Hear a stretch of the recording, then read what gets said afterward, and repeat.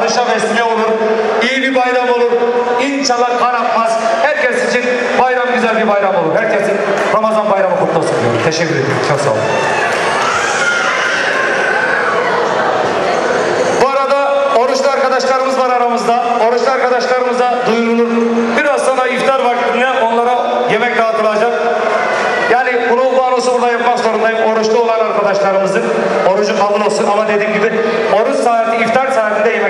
Teşekkür ediyorum. Ve sizlere herkes afiyet olsun.